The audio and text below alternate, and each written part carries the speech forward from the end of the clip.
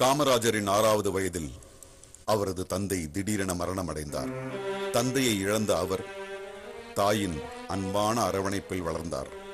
விளையும் பயிர் முளையிலேயே தெரியும் என்ற பழமொழிக்கு ஏற்ப இளவயதிலேயே அனைத்து நற்குணங்களையும் பெற்றிருந்தார் காமராஜர்.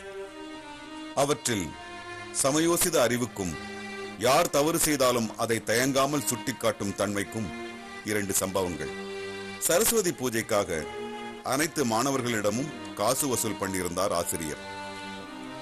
பூஜை முடிந்ததும் அனைத்து மாணவர்களுக்கும் சுண்டல் வழங்கப்பட்டது. எல்லோரையும் போல் முட்டி மோதாமல் காமராஜர் பொறுமையாக நின்றிருந்தார். இறுதியாக வந்த அவருக்கு ஏமாற்றம். சுண்டல் தீர்ந்து போயிருந்தது. மிக குறைந்த அளவே கிடைத்தது. நானும் காசு கொடுத்திருக்கிறேன். நியாயமாக எல்லோருக்கும் கிடைத்த அதே அளவு எனக்கும் கிடைத்திருக்க வேண்டும். நீங்கள் பொறுப்புடன் நடந்து கொள்ளவில்லை என ஆசிரியரின் முகத்திற்கு எதிராகவே அவரை குற்றம் சாட்டினார் காமராஜர்.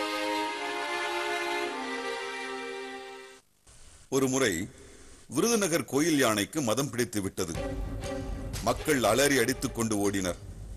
யாருக்கும் அதனை அடக்கும் வழி தெரியவில்லை.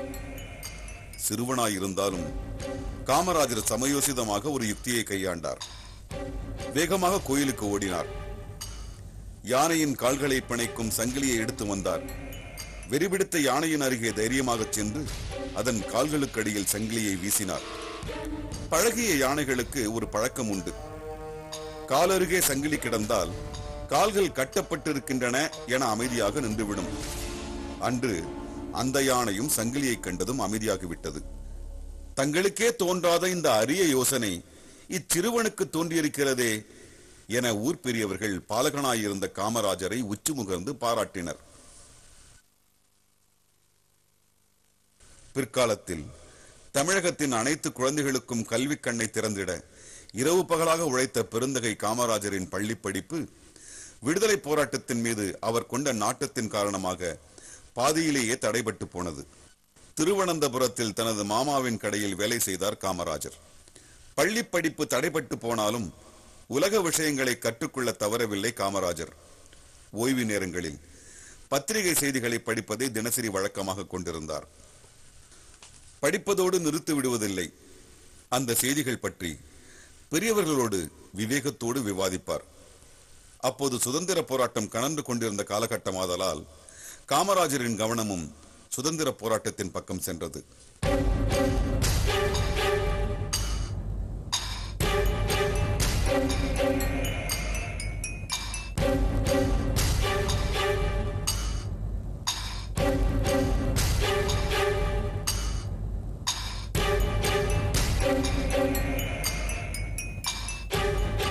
ஆயிரத்தி தொள்ளாயிரத்தி பத்தொன்பதாம் வருடம் ஏப்ரல் மாதம் பதிமூன்றாம் தேதி இந்தியாவையே அதிர்ச்சியில் ஆழ்த்திய அந்த கொடூர சம்பவம் நிகழ்ந்தது.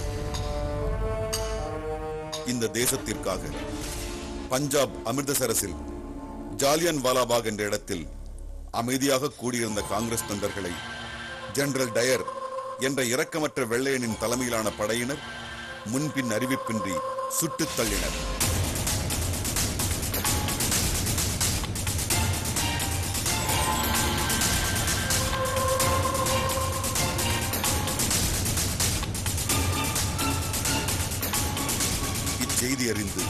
காமராஜர் பதறினார்.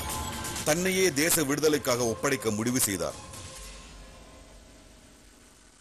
மகாத்மா காந்தியை தலைவராக ஏற்றுக்கொண்டு விடுதலை போரில் முழுமையாக தன்னை இணைத்துக் கொண்டார்.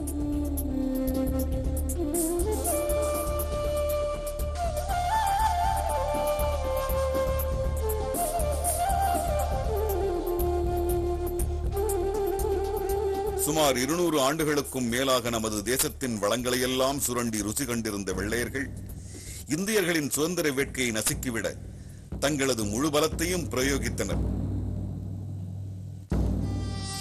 ஆயுதம் இயந்தாமல் அகிம்சை வழியில் போராடிய விடுதலை வீரர்களை மிருகங்களை விட கேவலமாக அடித்து உதைத்தனர். கைது செய்து வருடக்கணக்கில் சிறையில் அடைத்தனர். உறுதியுடன் போராடியவர்களை அந்தமான் சிறையில் அடைத்தனர். அதில் அநேகர் அங்கேயே உயிரிழந்தனர். துடிப்பு மிக்க இளைஞர்கள் தூக்கிலிடப்பட்டனர். அக்காலத்தில் வெள்ளையருக்கு எதிராக போராடுவது மிகவும் ஆபத்தானது என பாமர மக்கள் பயந்தனர். காமராஜரின் அன்னையும் தனது மகன் விடுதலை போரில் ஈடுபடுவது கண்டு மிகவும் கவலையடைந்தார். திருமணம் செய்து வைத்தால் அவருக்கு குடும்ப அக்கறை வரும் என எண்ணினார். தேச விடுதலைக்காகவும் தேசத்திற்காகவும் தன்னை அர்ப்பணித்து விட்டதாகவும் திருமணம் என்பது இனி எப்பொழுதும் தனக்கு வேண்டாம் என்றும் தாயாரின் கோரிக்கையை திட்டவட்டமாக மறுத்துவிட்டார் காமராஜர்.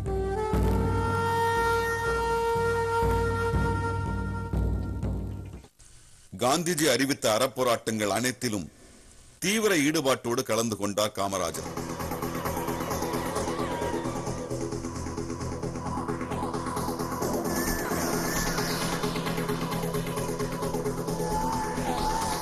தன்னலமற்ற உழைப்பின் காரணமாக தென் தமிழகத்தின் முக்கிய தொண்டராக உயர்ந்தார்.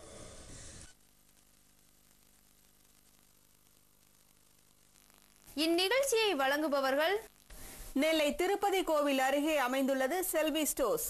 நெல்லை மீனாட்சிபுரம் செல்வி ஸ்டோர்ஸில் வீட்டு உபயோகப் பொருட்களின் அணிவகுப்பு. அனைவரும் வருகை தந்து வீட்டுக்கு தேவையான பொருட்களை தரமாகவும் விலை குறைவாகவும் வாங்கிச் செல்ல அன்புடன் அழைக்கிறோம். டிஷ்யூ பட்டுப்புடவைகள் பத்தாயிரம் முதல் நாற்பதாயிரம் வரை விலைக்கு வாங்கப்படும். Selvi stores number thirty four P K road Meenakshipuram Tirunelveli சந்திப்பு. Phone zero four six two two double three eight two nine six cell nine double four two three nine five one seven nine. எப்பொழுதும் தீய பழக்க வழக்கங்களை தீவிரமாக எதிர்க்கும் காமராஜர். ஆயிரத்தி தொள்ளாயிரத்தி இருபத்தி நான்காம் ஆண்டு மதுரையில் கள்ளுக்கடை மறியலை தீவிரமாக நடத்தினார். ஆயிரத்தி தொள்ளாயிரத்தி முப்பதாம் ஆண்டு காந்தியடிகள் உப்பு சத்தியாகிரகத்தை தொடங்கினார்.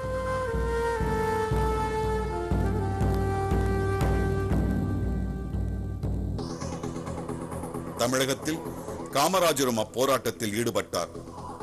இதனால் ஆத்திரமடைந்த வெள்ளையர் அரசு காமராஜரை கைது செய்தது. காமராஜர் கைது செய்யப்பட்ட செய்தி கேட்ட அவரது பாட்டி அதிர்ச்சியில் மரணப்படுக்கையில் விழுந்தார். பெல்லாரி சிறையில் அடைக்கப்பட்டிருந்த காமராஜரை அவரது மாமா வந்து சந்தித்தார். பாட்டியின் உடல்நிலை பற்றி கூறி மன்னிப்பு கடிதம் எழுதி கொடுத்தால் பிரிட்டிஷ் அரசு அவரை விடுதலை செய்ய தயாராக இருக்கும் தகவலையும் கூறினார். இந்த நாட்டுக்காக உயிரையும் விடுவேன். ஆனால் வெள்ளையனிடம் மன்னிப்பு மட்டும் கேட்க மாட்டேன் என காமராஜர் உறுதியோடு மறுத்துவிட்டார். இதனால் காமராஜர் ஒரு வருட சிறை தண்டனை அனுபவிக்க நேரிட்டது. தன்னலமற்ற காமராஜரின் உழைப்பு காங்கிரசின் முக்கிய தலைவர்களில் ஒருவரான சத்தியமூர்த்தியை மிகவும் கவர்ந்தது. சிறந்த காந்தியவாதியான சத்தியமூர்த்தியை காமராஜர் தனது அரசியல் குருவாக ஏற்றுக்கொண்டார். கடமையை செய் பலனை எதிர்பாராதே என்ற கீதையின் வாசகத்திற்கு இணங்க எந்த பலனையும் எதிர்பாராமல் தேசத்திற்காக உழைத்தார் காமராஜர். ஆனால் அவரே மறுத்தும் கட்சி பதவிகள் தானாக அவரை தேடி வந்தன. ஆயிரத்தி தொள்ளாயிரத்தி முப்பத்தி ஒன்றாம் ஆண்டு ராமநாதபுரம் மாவட்ட பிரதிநிதியாக காங்கிரஸ் காரிய கமிட்டிக்கு தேர்ந்தெடுக்கப்பட்டார். அதே ஆண்டு அகில இந்திய காங்கிரஸ் கமிட்டி உறுப்பினராகவும் தேர்ந்தெடுக்கப்பட்டார். வட்டமேசை மாநாடு முடிந்து திரும்பிய காந்தியை ஆங்கில அரசு கைது செய்தது. அதற்கு எதிர்ப்பு தெரிவித்து ஆர்ப்பாட்டத்தில் ஈடுபட்ட காங்கிரஸ் தொண்டர்கள் நாடு முழுவதும் கைது செய்யப்பட்டனர்.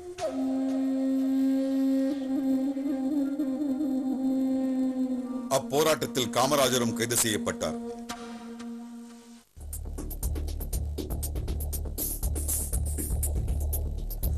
ஆறாம் வகுப்போடு பள்ளி படிப்பு தடைபட்டு போன காமராஜர் அந்த சிறைவாசத்தை தனது உலக அறிவை வளர்த்துக் கொள்ள பயன்படுத்திக் கொண்டார். தமிழ் மட்டுமன்றி நிறைய ஆங்கில நூல்களையும் படித்து தனது ஆங்கில அறிவை வளர்த்துக் கொண்டார். சிறுவயது முதலே ஜாதிய ஏற்றத்தாழ்வுகளை மிகவும் வெறுத்தவர் காமராஜர்.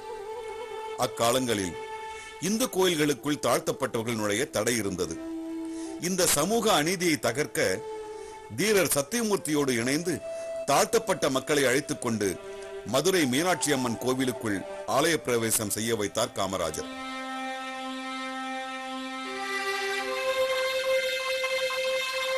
தனது பதினாறாவது வயதில் மிக மிக சாதாரண தொண்டனாக காங்கிரஸில் இணைந்த காமராஜர் அயராத உழைப்பு